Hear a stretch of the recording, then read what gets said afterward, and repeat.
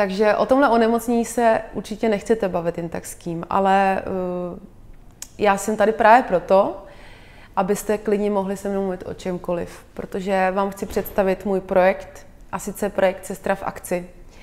Uh, je to linka pro pacienty nebo pro rodilé příslušníky nebo i pro kteréhokoliv občana České republiky, který má pocit, že potřebuje poradit ohledně onemocnění střev, ať už Crohn, ulcerozní kolitída, nevíte, jak máte brát léky, eh, trápí vás vedlejší účinky, eh, nevíte kam do centra a tak dále. Jakákoliv otázka vás napadá, proto jsem tady právě já. Takže myslím si, že zkrátka dobře snažím se z té mojí nemoci uh, zužitkovat to nejlepší a jsem tady pro vás, protože si myslím, že vám můžu předat mé zkušenosti a uh, můžu vám prostě zkrátka jednu duše říct, že to bude lepší. Není to konec, je to jenom začátek něčeho nového a vy se toho nebojte. Já vás doprovodím a vy už tu cestu sami dojdete.